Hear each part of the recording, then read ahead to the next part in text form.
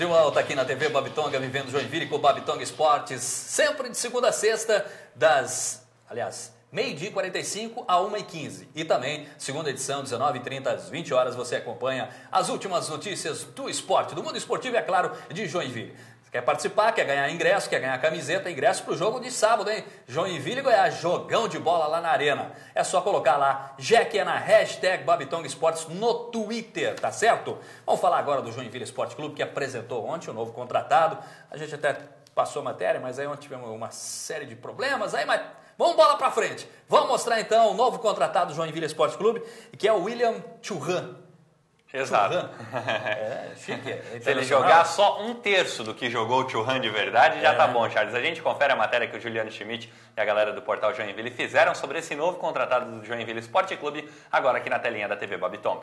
Depois da chegada e da saída do zagueiro Otávio, o Jack queria trazer mais um para manter o número de 5 no setor.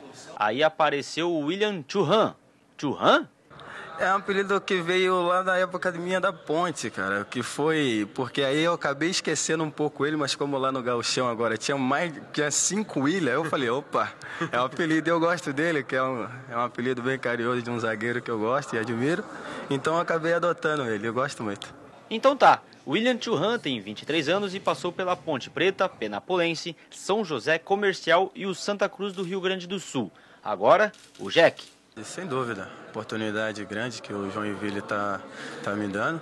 E eu vou agarrar ela com unhas e todas as forças que eu tiver para chegar aqui e mostrar aquilo que a gente sabe fazer, que é, que é trabalhar. Como já dito anteriormente, é, havia nosso, o Joinville hoje conta no seu elenco com quatro atletas e se aproxima a Taça Minas Gerais, a Copa Santa Catarina, perdão. Então, diante disso, a gente é, entende que há, há necessidade de buscar mais um atleta para compor esse sistema defensivo, porque a gente vai ter jogos às quartas, aos sábados, hora às sexta, às sextas-feiras. Então, é importante a gente ter um elenco capaz de suportar bem essas duas competições. Por isso, a gente buscou no mercado o William, que é um atleta jovem, bom porte, fez um bom campeonato gaúcho esse ano. A gente acredita que ele vai ter condições de nos ajudar muito nessa campanha que a gente tem feito até o momento. Ele chega num setor que está bem na competição. É uma das melhores defesas da Série B. Mas ao invés de se preocupar com a concorrência, ele acha bom pelo trabalho que irá desenvolver. Não, sem dúvida. E fica até mais fácil para nós que, vem, que chega agora para trabalhar, porque é uma equipe que já está bem estruturada. Se você tiver que entrar, você já entra só para complementar algumas coisas. Parado desde maio, ele não vê problemas com a parte física e está pronto a hora que o Leandro chamar. Ah, a hora que ele precisar, eu já estou pronto, cara. Já estou.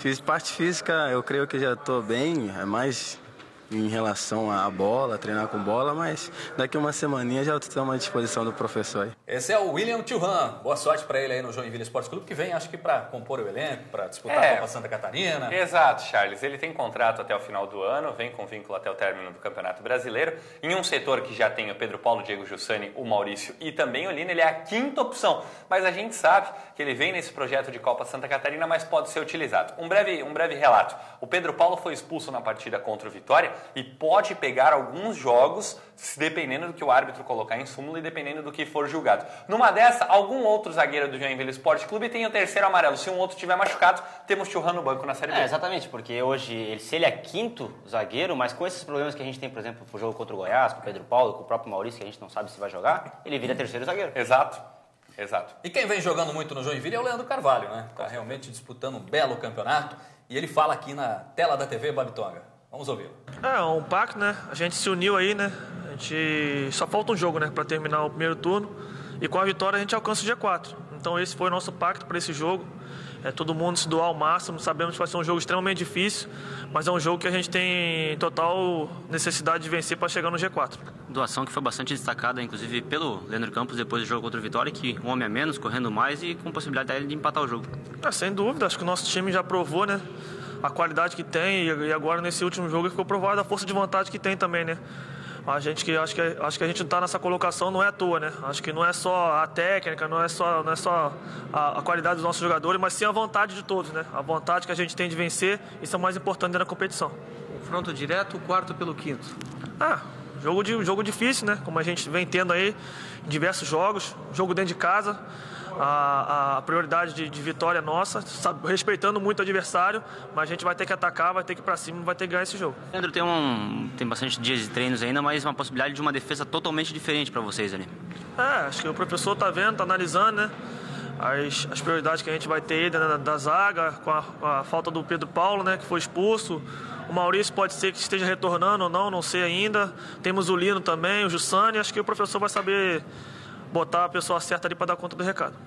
Tá, então. Esse é um jogador realmente essencial hoje no grupo. Né? Exato. O Leandro Carvalho é titular nato desse time de Joinville Esporte Clube e eu que tive o prazer de acompanhar todas as partidas da equipe nesse primeiro turno, eu, eu consegui analisar uma coisa, Charles Juliano. O Leandro Carvalho é o chato do Joinville Esporte Clube. Sabe quando na pelada tu tá jogando contra um cara e aquele cara é o chato que só reclama da arbitragem, que só reclama que o outro tá batendo, só... o Leandro Carvalho é o chato do Joinville Esporte Clube. Pro Joinville é ótimo porque ele veste a camisa, dá tudo de si na partida, chega ao seu limite, mas pros adversários, olha, o que eu vejo o Leandro Carvalho fazendo em cada jogo, provocando um cara e jogando do outro lado, ele é o chato do Joinville nessa Série B. É bom ter um chato, né? Um bom cara para orientar o time? É bom que acaba tendo até uma certa liderança da né, Gabriel Charles, é por quê? Porque ele exerce, ele não é o capitão do time, como o Ricardinho, como tem o Pedro Paulo, que também exerce uma liderança, mas ele acaba sendo um líder, é um cara que está ali sendo um líder mesmo. Então isso é muito bom, isso é muito bom para o Joinville. Eu quero só mandar um abraço aqui para Gisele Iracema da Silva, que está aí curtindo a gente no canal 9 da NET e também na internet. Agora, os ingressos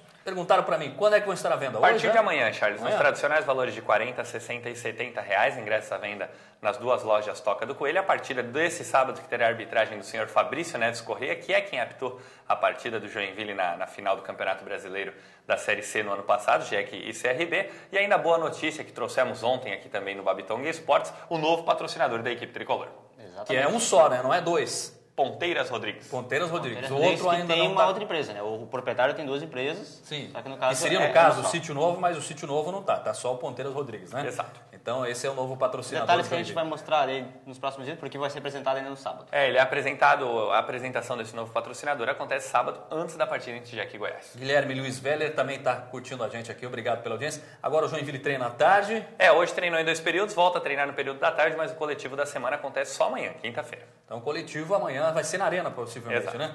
Vamos acompanhar. Então Joinville Esporte Clube em preparativo. A gente sempre fala, ah, o jogo é importante. Todos os jogos da Série B são importantes.